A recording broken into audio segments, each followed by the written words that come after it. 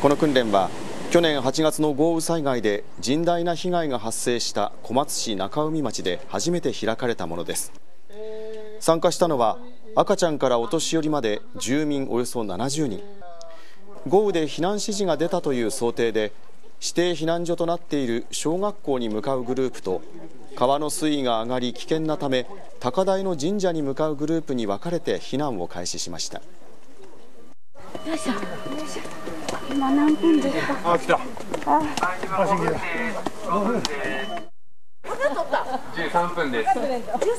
はい、覚えててください。13分です。避難にかかる時間は年齢によって様々です非常に意識が高くなってきているなということが見受けられました